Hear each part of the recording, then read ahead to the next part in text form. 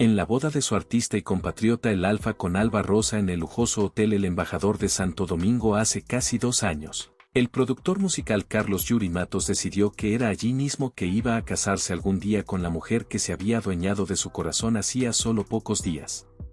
Desde que la conocí, yo sabía que quería estar con ella siempre, revela Matos de la materialista, quien era su acompañante en ese enlace. Le dije, la próxima boda va a ser la nuestra aquí. Ella no lo creyó. Teníamos días de estar saliendo. Con el tiempo, la predicción del también manager de Shiloh Shack se ha hecho realidad. Estamos, emocionados, confiesa tras ver este sábado el sueño cumplido de casarse con la cantante en ese mismo hotel de la capital dominicana. El momento de máxima emoción de la ceremonia para Matos fue ver a la mujer de su vida acercársele ataviada con un vestido blanco espectacular. Es una persona íntegra, da todo por el otro y eso no se ve siempre y somos parecidos en eso, dice el novio emocionado de Yamery Infante, el nombre de pila de la materialista, cuya carrera ahora también maneja.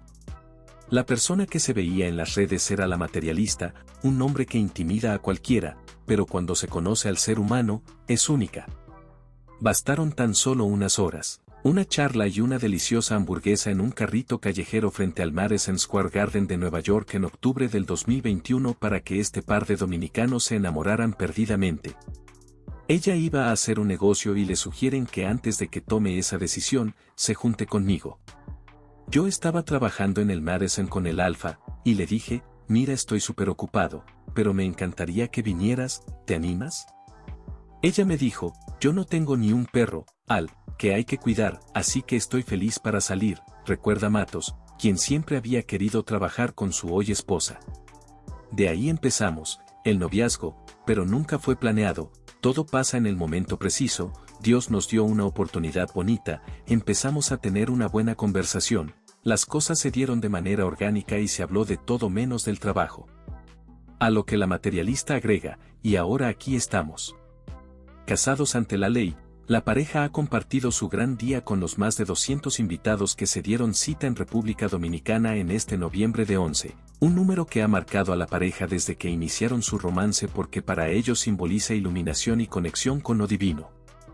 Me identifiqué con él, es una persona que viene desde abajo y ha luchado mucho para lograr las cosas en su vida, no se rinde, y yo soy así, dice la intérprete de Taka Taka. Pienso que cuando dos personas están destinadas a encontrarse o a que sus almas se unan en un momento de la vida, simplemente se da, eso es conexión. Por eso, ni lento ni perezoso cuando su entonces novia ingresó a la casa de los famosos el pasado enero, Matos no dudó ni un segundo en darle el anillo de compromiso.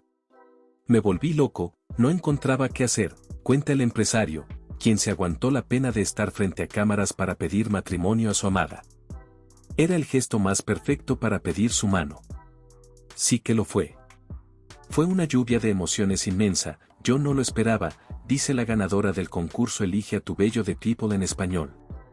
No lo imaginaba y fue demasiado, no sabía si llorar, si reír. Esa misma mezcla de sentimientos les afloró en la boda. Siempre quise que mi boda pareciera un jardín de la realeza. Era mi sueño desde niña, casarme como una princesa. Con la bendición de Dios lo logramos, señala la artista, que planeó con su ahora esposa durante dos meses el gran evento. Hasta cambiaron de wedding planner en el último momento. Para la noche tuve cinco vestidos. Nosotros lo hicimos todo juntos, vivimos cada proceso de la preparación, agrega. Los testigos de la celebración, además de El Alfa, y la música de Andy Danchora y el legado de los potros y Toño Rosario? Dania Méndez es una de las damas, José Rodríguez vino desde España con su esposa, Raúl García y Alan desde Miami, y Patti Navidad no pudo porque su mamá está muy malita, enumera emocionada la rubia. ¿Hijos a la vista? De eso, su nueva casa y su vida en pareja los dominicanos hablaron en exclusiva con People en español. Vivan los novios. Siempre quise que mi boda pareciera un jardín de la realeza. Era mi sueño desde niña, casarme como una princesa. Con la bendición de Dios lo logramos.